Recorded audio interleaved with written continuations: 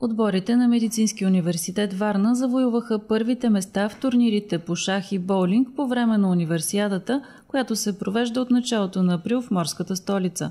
За 18-та поредна година Община Варна, студентските съвети и звената по спорт в университетите организират най-мащабното състезание за студенти в града – в волейболния турнир отборът на мъжете от Медицински университет успя да се класира на второ място след оспорвани битки с економическия и военноморското училище. При жените бъдещите медици са на четвърто място. На второ и четвърто място са съответно отборите на мъжете и жените от Медицински университет Варна и в турнира по тенис на маса.